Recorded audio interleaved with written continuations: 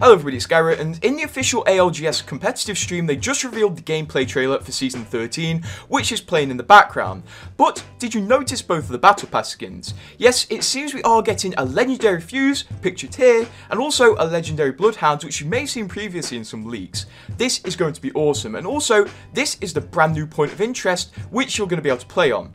Honestly, this looks so awesome. Giant dead animal, fun to play in. What are you most looking forward to? Anyway, subscribe.